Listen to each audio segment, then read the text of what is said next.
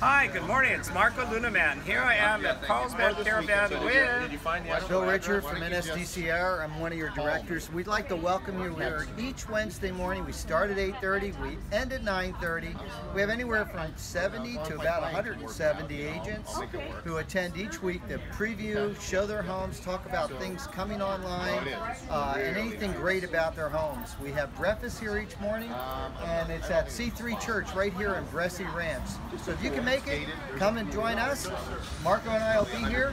and we're, we go out and look at some of the best homes first so your clients can can uh, get the cutting edge on the new property. So join us.